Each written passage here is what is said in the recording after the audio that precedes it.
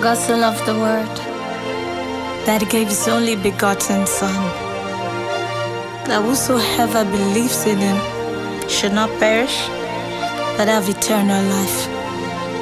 This is my testimony. Can a man die for you? Can he pay your debt with his life? Can he go up to the cross just to make you live eternally? This is what my Jesus did when he went to Calvary.